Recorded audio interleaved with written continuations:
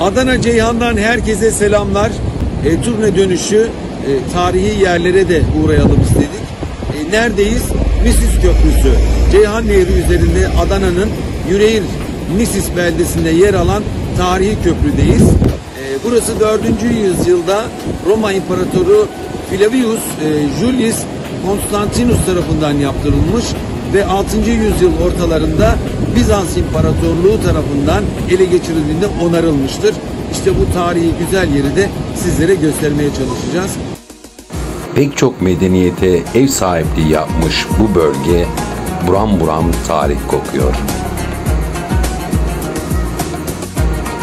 Ve biz de bir bardak çayla bunun keyfini sürüyoruz.